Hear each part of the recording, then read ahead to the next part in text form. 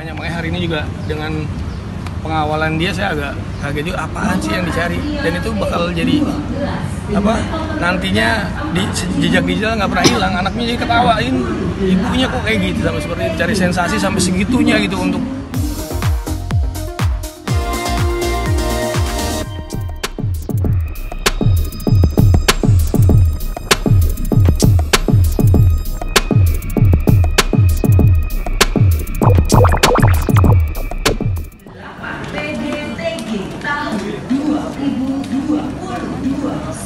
boleh sedikit Mbak Roro? Di sini aja Mbak. Sedikit aja Mbak. Rasanya nggak nyaman kalau ada si antri. sedikit aja di sini Mbak. Sebentar Mbak. Mungkin seperti apa persidangan hari ini?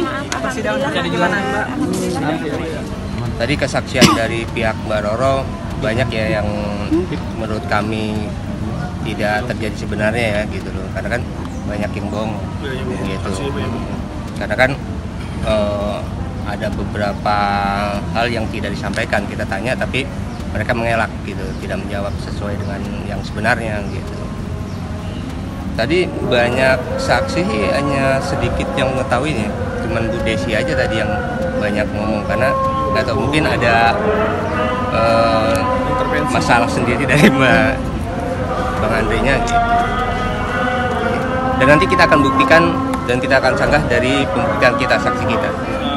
Pertama saya terima kasih kepada agama yang udah apa, mengadakan ini sidang keberapa keempat ya untuk pembuktian dan saksi ya. Tapi karena mereka disumpah jadi saya buat saya nggak ada masalah dia mau berbohong ataupun eh, banyak karangan-karangan yang mereka emang eh, karena saya lihat banyak saksi yang saya ada nggak saya kenal ya. Yang terakhir juga nggak saya kenal gitu kan nggak. Kita berumah tangga berdua dan selalu berdua yang pasti yang kita tahu cuma kita berdua nggak mungkin orang luar tahu kalau Bu Desi mungkin eh, apa dia tahu sebenarnya cuman dia banyak cerita yang nggak sesuai dengan fakta itu, itu aja sih Yang mengetahui itu hanya Bu Desi ya. Yang lainnya eh, Mbak Sandy tadi hanya menerangkan terkait dengan pesta itu, terus kemudian eh, si siapa sih? Si Willy ya, dia saking tetangga. dua tetangga, Tetangganya gitu kan, juga punya saya- bengkel, yang punya yang bengkel. rumah Nyai dan ini saya pun yang mengenalkan Nyai dengan tetangganya. Karena Nyai selama ini nggak berkenal kenal dengan Willy itu dan keluarganya. Hanya tahu ya itu Roro karena artis kan mungkin ya. Ya. pertama itu kalau Bu Desi eh, saya yang mendamaikan pada saat mau menikah juga.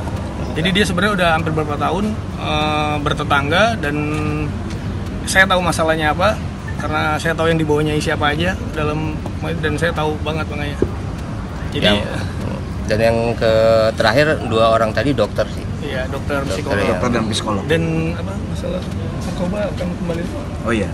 apa Narkoba, iya.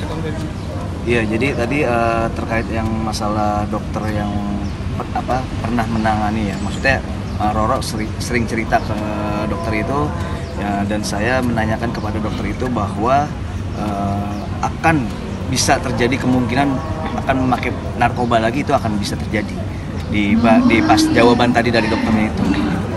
Mas Andi sempat komunikasi Enggak, kan saya mau deketin, saya karena saya saya tahu kan belum putusan, jadi belum cerai kan, saya mau pegang tangannya masih halal kan. Wah, Kayak iya. kabur cet, gitu.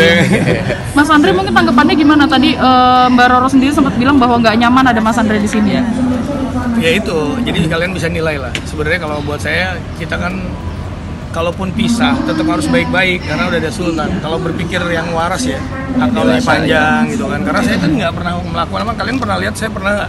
Saya bergaul dengan teman juga banyak. Makanya hari ini juga dengan pengawalan dia saya agak kaget juga apaan sih yang dicari dan itu bakal jadi apa nantinya di jejak digital nggak pernah hilang anaknya jadi ketawain ibunya kok kayak gitu sampai seperti itu cari sensasi sampai segitunya gitu untuk menaikkan dirinya gitu itu aja sih buat.